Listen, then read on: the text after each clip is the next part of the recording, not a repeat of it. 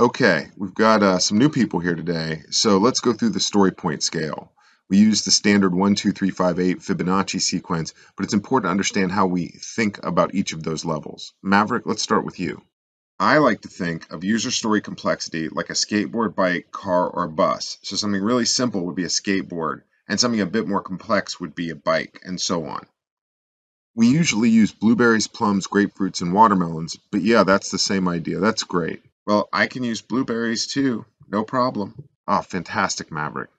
How about you, Leon? So I think of it like each point is about three hours of development and an hour of QA team testing. So a three would be something I think I can do in about nine hours with up to three hours of testing.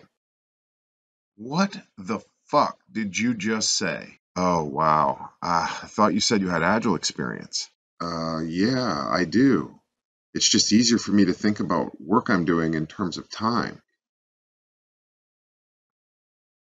I've never done anything that takes one blueberry, but I've done a ton of stuff that takes a couple hours. This is horseshit.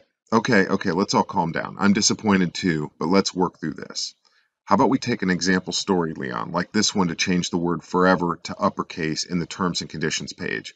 What do you think that would be? It's done. I just did it.